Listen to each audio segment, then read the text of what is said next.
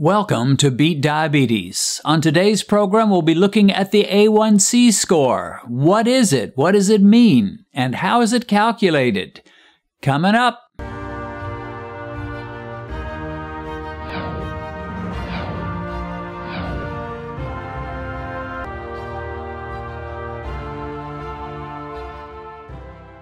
This person says, I went to the emergency room and I was told that I had diabetes. I guess that's one of the scariest things, that and cancer, to hear from the mouth of a doctor. My A1C was 11.9. 11.9 is high, very high. When I got home, I began to research how to lower my blood sugar so I could beat this disease. Good for you. Uh, he didn't just take some meds and hope for the best. He began to read, began to watch videos, began to think. And he says, I found your YouTube channel. I began to lower my carbs in my diet. And today, three months later, just three short months later, he says, I went into my doctor's office to check my A1C, and it is now 4.9. 11.9 Three months later, 4.9. He dropped seven full points in his A1C in three months. And folks, we just hear this all the time. I'm not making this up. You know, read the comments. You'll just see it from all kinds of people that are telling these stories. He says, with my 419 A1, 4.9 A1C, my doctor told me he has never he has never had a patient lower their A1C that much.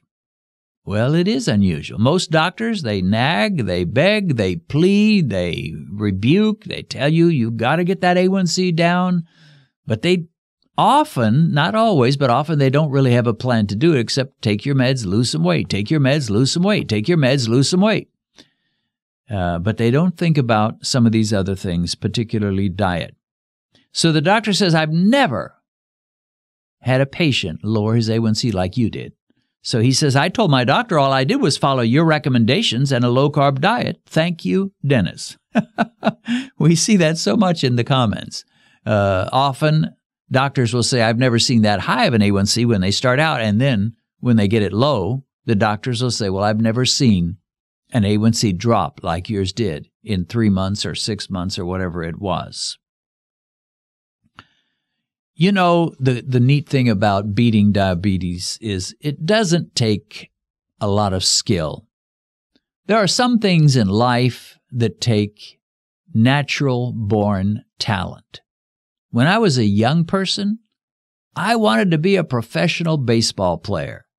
And I practiced with my buddy, my buddy Tom uh, during the summers, and we would field grounders and we would go to the park and hit baseball. Nowadays, young people don't do stuff like that. They're home watching video games. But you know, we in my day there was no YouTube, there were no video games, and uh, so we were out a lot. But we both wanted to be professional baseball players, and we practiced a lot. But the time came when I realized it wouldn't matter if I practiced 12 hours a day. I just didn't have what it took to be a professional baseball player. I wanted to be a top notch golfer. And I realized after a while that it wouldn't matter if I went to the driving range 10, 12 hours a day. I would never get up there in the ranks of the professionals. I just didn't have it. When I became an adult and got into the ministry, I wanted to be the next Billy Graham. I wanted to fill up stadiums preaching the gospel. And uh, I worked and I read the Bible and prayed and fasted and, and did all that I thought I could do, worked on my sermons to try to be the best speaker and communicator I could be. And that that didn't work either. I mean, God has used me in evangelism and in teaching the Bible. Uh, you know, it's not that I don't have gifts in those areas, but I'm no Billy Graham. Uh, and never could be. It wouldn't matter how many books I read on, you know, how to be a great speaker. I just wouldn't have it.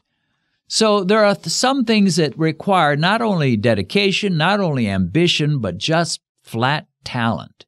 And if you don't have it, it hardly matters. But the good news is when it comes to beating diabetes, you don't have to be talented. You don't have to be all that smart. You just need some basic information and a little motivation, and you can make it. You can see that victory. And oh, it feels so good when you do. So this guy has seen it, um, and he is gone seven points down. When I see someone that makes it into the fours, I say, now that's someone that took this serious, even probably more seriously than I do. You know, they really got serious with their diet.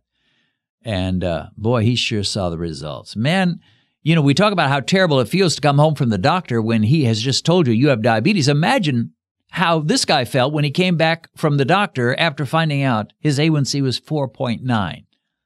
Now, I'm sure he was probably expecting a pretty good A1C, but probably not that low. 4.9. Amazing, amazing, amazing. Well done, my friend. And uh, that, that I'm thrilled for you. Here's an individual who says, I have one question. Do you know how the A1C number is determined? I know that it's an average over a three month period, but what does that equation look like? Well, it's not really an equation. It is a percentage of glycated hemoglobin cells or pieces or parts or whatever.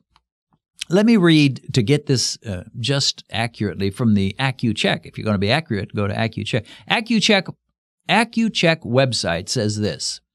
Your A1C test measures your average blood sugar levels by taking a sample of hemoglobin cells, a component of your red blood cells. So, you know, we've all got red blood cells, right? And within those red blood cells, there are hemoglobin cells. And it says, here's how it works. Some blood sugar, or glucose, naturally attaches to the A1C cells as they move through your blood your bloodstream. So we all have some blood sugar. We'd be in bad shape if we didn't. You know, if you had uh, a glucose level of zero, you'd probably be dead. And uh, so we all have some. And as this glucose circulates through our blood, it finds these hemoglobin cells and some of them it attaches itself to. They call that glycation or glycated cells. Basically, what they are are sugar coated. Some of that sugar attaches to the cells and coats them. But it never does that to all the cells. So, reading from this uh, Accu-Chek uh, web- website, once a cell has uh, been glycated or sugar coated, it stays that way. And since each A1C cell has a lifespan of about four months, your A1C sample will include cells that are a few days old, a few weeks, a few months. As a result, the test covers a span of about two to three months. Most people will say it's closer to three. The more sugar in your blood, the higher percentage of glycated A1C cells you have. The more sugar coated hemoglobin cells are going to be there. And that percentage is your A1C test result. So what they do is they take a sample of your blood, they check out the hemoglobin cells, and they are determining what percentage of these hemoglobin cells are glycated. They're sugar coated. Sugar has attached itself to them. It's never 100%. yeah, if it was, you'd, you know, you'd have an A1C of 100. But we never say, well, I had an A1C of 100. You might have a 7, an 8, a 10. That's percent. That's the percent of your cells that were sugar coated as a result of your blood sugar uh, floating through your uh, blood, the, the sugar floating through the blood for the last three months. It's kind of an average. So if your average is in the fours, it's like perfect. It's perfection. That's what you expect from like a 12 year old little boy or little girl. Uh, if it's in the fives, it's pretty good. It's quite good, especially for an older person. When it gets in the six, it's becoming worrisome. If it gets over 6.5, now this is percent. So the, that test is checking what percent of those hemoglobin cells, that's why they call it the hemoglobin A1C. I never say the whole thing, I just say A1C, but it's officially the hemoglobin A1C or HA1C. What percent of those hemoglobin cells is sugar coated or glycated.